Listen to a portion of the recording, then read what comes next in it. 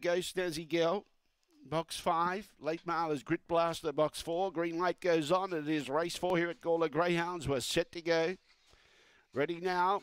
Away, Elsie's Choice began okay. Alongside of it, charging forward is Grit Blaster. So the Kennel Mates go side by side down the back straight. They're clear by two or three lengths. They've done their dough on Go Snazzy Girl. It's out the back, but Grit Blaster takes over. Lenko Lass gets up into second place. He got underneath Elsie's Choice. Behind those was Super Shenron. Then at the tail end of the field, Magic Burner and Go Snazzy Girl. But Grit Blaster's home and hose. Second, Lenko Lass. Third, look, I think Elsie's Choice might have got there just in front of Super Shenron and Go Snazzy Girl. Never got warm till late, and Lenko Lass pulled up quickly at the tail end of the field. Home for late male followers and the cheers of the crowd. Grit Blaster.